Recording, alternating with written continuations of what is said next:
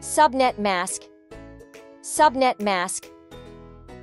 A number used to divide an IP address into network and host parts. A number used to divide an IP address into network and host parts. Network topology. Network topology. The layout of devices in a network. The layout of devices in a network. Packet. Packet. A small unit of data transmitted over a network. A small unit of data transmitted over a network.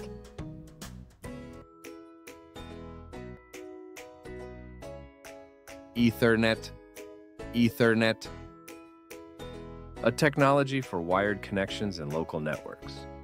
A technology for wired connections and local networks. Agile, Agile, a flexible project management method for software development.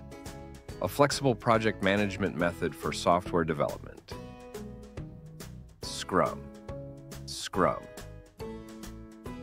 a framework for managing software projects using short work cycles. A framework for managing software projects using short work cycles.